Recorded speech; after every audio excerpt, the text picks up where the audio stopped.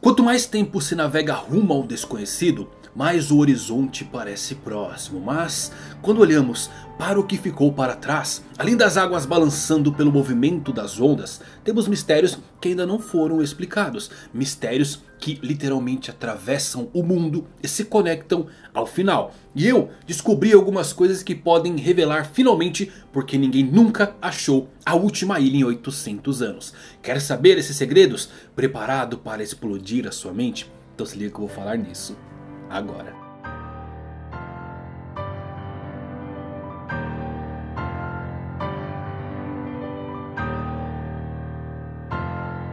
Fala galera, Evandro Fusari com mais um vídeo pra vocês, como é que vocês estão? Espero que todos vocês estejam maravilhosamente bem. E hoje trazendo aquele vídeo muito legal. Aquele vídeo que explica diversas coisas E o melhor ainda, deixem aberto para suas interpretações. Para vocês completarem e fazerem mais teorias Nesse vídeo tem muita coisa legal como por que Enislobe é sempre dia, o que é aquele buraco no meio do mar, aonde está a última ilha, porque nunca ninguém a encontrou, diversas respostas, então assiste até o final se quiser explodir a sua mente, se você é novo no canal, aproveita para se inscrever, escritão que já é da pior geração, já dispara o like para dar aquela fortalecida. E agora com vocês tudo sobre os segredos do mundo do One Piece.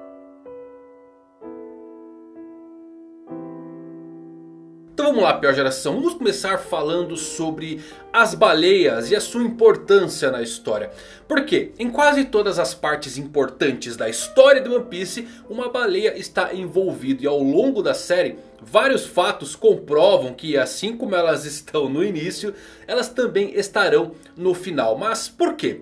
Toda vez que vemos baleias em One Piece, há referências diretas a Left Tail ou apenas sinais da direção certa. A entrada de um novo lugar. E eu vou destacar alguns pontos importantes na trama só para você se situar. A primeira baleia que podemos ver está no capítulo 8. Onde Nami rouba o mapa da Grand Line de Bug. A segunda baleia, Laboon, é onde obtivemos as primeiras informações sobre a última ilha de Crocus na entrada da Grand Line. Temos baleias nos portões do castelo de Alubarna. Sim, baleias em uma ilha do deserto. E mais precisamente acima da Câmara dos Reis aonde tinha o Poneglyph de Pluton.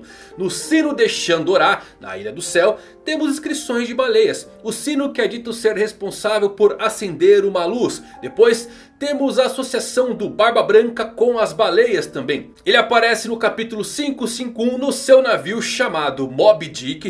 Referência direta à famosa baleia do romance de mesmo nome. Barba Branca é dito ser o homem mais próximo do One Piece. Guarda bem isso porque o Oda gosta de jogos de palavras em japonês. E o Barba Branca está no topo do Mob Dick, talvez deixando aí uma conexão das baleias e o tesouro final One Piece. Por isso Edward era o homem mais próximo do tesouro. Mas depois disso temos quando os chapéus de palha submergem em Shabold para chegar à ilha dos homens peixes. E há também uma pequena nota bem legal nessa parte que o Luffy vê uma baleia e acha que é o próprio Barba Branca. Podemos ver baleias também na ilha dos homens peixes, mais precisamente as baleias que estão ao redor da floresta do mar. E também temos um poneglyph ali, o de Joy Boy, e onde antes também havia um road poneglyph. Após isso, podemos ver baleias quando os chapéus de palha embarcam para o novo mundo. Elas comemoram e isto faz uma alusão direta à profecia que fomos conhecer depois dos reis do mar. Sobre as baleias ficarem felizes com a volta dos soberanos. Sabemos que Luffy é Joy Boy e a tripulação então entra ali no novo mundo com um grupo gigante de baleias os acompanhando. Eles cantam enquanto a tripulação dispara pela água. Na ilha de Zou há uma árvore em forma de baleia e dentro dela temos um road poneglyph. Jinbe, um tubarão baleia também não entrou no bando por acaso. Então vocês notaram como baleias sempre estão presentes na história. Fora isso, temos diversas referências a todo momento. Histórias de capa, o rei Netuno sendo o único que pode conversar diretamente com baleias e até mesmo monta em uma. Durante a jornada do Roger, se você voltar para reler, vai se deparar com diversas baleias aparecendo ao fundo. Mesmo no filme Stampede, ao qual o nome da última ilha foi oficialmente romanizado como Left Tail, o navio de Douglas Bullet, ex-membro dos piratas Roger, que tinha o Eternal Pose que apontava para a última ilha, é literalmente um submarino baleia. Mesmo o símbolo do clã Kozuki, se você reparar bem, vai ver que isto aqui são caudas de baleia na crista Kozuki, família responsável por fazer os poneglyphs e comandar Zunisha. Esse também é o símbolo de Ors, o puxador de continentes e também estão presentes nas catacumbas de Mary Joyce, onde o chapéu de palha gigante congelado está localizado. Uma cruz feita com caudas de baleias. Indo um pouquinho longe, talvez o reino antigo era o reino das baleias ou era chamado de Ilha da Baleia, pois temos uma dica bem legal de Nico Robin, mais precisamente lá em Tequila Wolf, que eu tenho certeza ser um dos grandes mistérios para todos os fãs de One Piece, o que é o país de Tequila Wolf. Bem, no capítulo 545, quando Robin é uma prisioneira na ponte, ela utiliza o seu uniforme e vemos o número 3926, e o número 926 pode ser lido como baleia em japonês. Kujira. Então o seu uniforme está escrito a baleia. E não só isso, o nome Tequila Wolf em japonês pode ser rearranjado para se escrever perfeitamente Reftel o Ki ou Lauftail flutuante. E aqui começamos a chegar em algum lugar. Talvez a última ilha possa estar dentro de uma baleia enorme ou acima dela. Sem dúvidas, as baleias terão algum papel fundamental no final da jornada. Labum e sua espécie estranhamente têm as mesmas feridas nas suas cabeças. Porque continuam tentando supostamente destruir a Red Line. Some que definitivamente há algo de especial na música de Binks no Saki. Por isso que Labum se sentiu atraído pela canção quando a escutou pela primeira vez. Uma vez que as baleias são um dos poucos animais que podem cantar. Em One Piece, a música, o canto é claramente importante. E este canto pode ser o caminho para quem sabe encontrar o tesouro One Piece. Quem sabe você precisa chegar a um lugar específico em um horário determinado e tocar Binks no Sake. Bom, Love Tale pode ser então uma baleia gigante ou mesmo estar dentro de uma. Da mesma forma que Zou é um elefante gigante, pode ter animais colossais com uma baleia enorme. Isto responderia parte do motivo pelo qual é tão difícil de encontrar Left Tail. Porque passa tanto tempo debaixo d'água e nadando. E como existe uma criatura como o Zunisha, isto sugere que poderia sim haver mais criaturas semelhantes ao Leviatã. E o Leviatã clássico na história é sempre desenhado como uma baleia. Então quem sabe esse Leviatã, essa baleia só pode ser encontrada através dos Road Poneglyphs. Da mesma forma que Zunisha só pode ser encontrada através de um Vivre Card. Agora eu queria adicionar mais uma coisa bem legal aqui. O local onde esta baleia reside e o motivo de por que outras baleias como Labum têm as marcas na sua cabeça tentando quebrar a Red Line. Elas fazem isso porque baleias são animais migratórios e provavelmente querem voltar para sua terra natal. Vamos lá, este aqui no muro de One Piece é o triângulo que a marinha utiliza como local para suas três bases principais. Devido às correntes incrivelmente fortes chamadas corrente Tarai.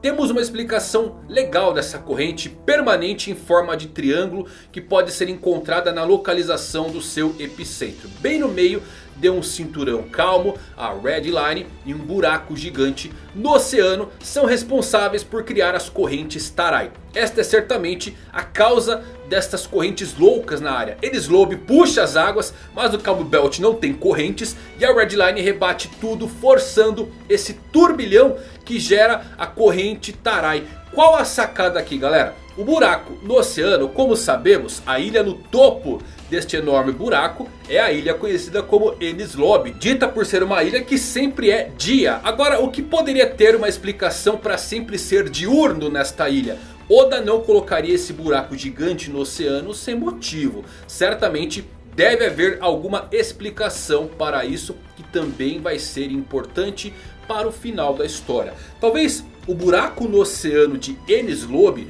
atravesse todo o planeta de One Piece. É por isso que é sempre dia neste ponto em particular. Quando a Terra gira e o Sol está do outro lado do planeta. A luz do Sol entra pelo buraco iluminando Enis Lobby sempre. Obviamente que isso não seria possível no nosso mundo, mas este é o mundo mágico de One Piece feito totalmente de licenças poéticas. Esse buraco é possivelmente o resultado da arma antiga Pluton. Sim, um disparo que atravessou todo o planeta. E considerando isso, deve haver um furo idêntico do outro lado do mundo. E a localização desse buraco oposto a Enies Lobby colocaria também um triângulo de vórtice no final do paraíso. Um buraco idêntico estando no lado oposto do mundo como Enies Lobby significaria que teria que haver também uma corrente triangular idêntica entre o buraco, o Calm Belt e a Red Line no final do novo mundo. E é por isso que o mar lá é completamente louco depois da ilha de Lodestar.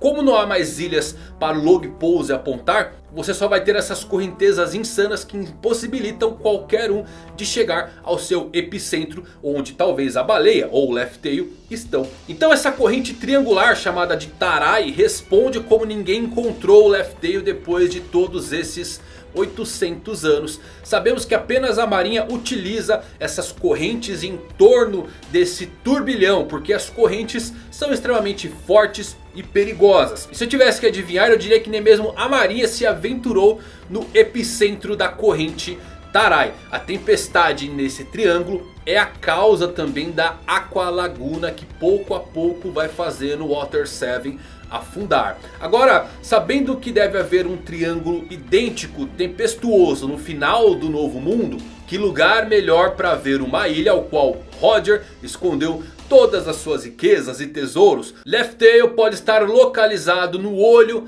desse vórtice, dessa nova triangulação que causa essas tempestades no fim do novo mundo. Os poneglyphs provavelmente vão indicar esse ponto. Talvez as baleias guiem o navio. Vale mencionar que o turbilhão também é um termo utilizado em 20 mil léguas submarinas. Que é um redemoinho que suga uma tonelada de água. Faria sentido Oda utilizar outro fenômeno náutico e muito conhecido como um ponto importante da sua história. E seria muito poético que os segredos que vão destruir o governo mundial estão exatamente em um dos lados opostos do mundo de onde eles estão. É como os dois lados opostos de pensamentos. Mais ainda, se Enies Lobby é uma ilha que é sempre dia, Left Tail pode ser uma ilha que agora é sempre noite e que precisa do amanhecer para brilhar novamente. E para encerrar com chave de ouro, o Crocus ele meio que mora dentro de Laboon. Se Left Tail está escondido em uma baleia é simplesmente de onde ele teve a ideia de morar dentro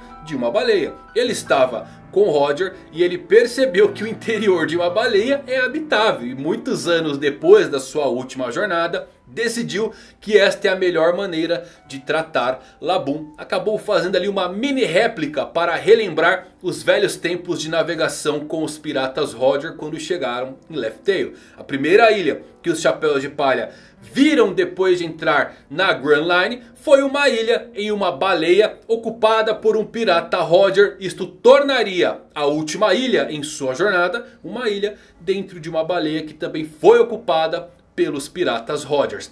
Em Zou, o poliglifo vermelho está dentro da árvore baleia. O título do capítulo que revela isso é literalmente dentro da baleia. Barba Branca sendo o homem mais próximo do tesouro One Piece é um jogo de palavras em japonês feito por Eiichiro Oda. Barba Branca está no topo do Bob Dick, uma baleia que na mitologia come navios em particular. Enquanto Roger é aquele que entrou na baleia, lugar onde Left Tail está. Mas independente de a última estar ou não dentro de uma baleia, eu estou realmente disposto a apostar que Left Tail requer a passagem de uma baleia para alcançá-lo. As baleias serão literais mensageiros e as escoltas para o rei dos piratas. E por isso que elas cantam em antecipação com a chegada dos dois soberanos dos mares. Somente Poseidon pode dar a ordem para esta baleia e ordenar que os reis do mar acabem com os Calm Belts, tirando assim a corrente Tarai do lado oposto do mundo, enquanto Joy Boy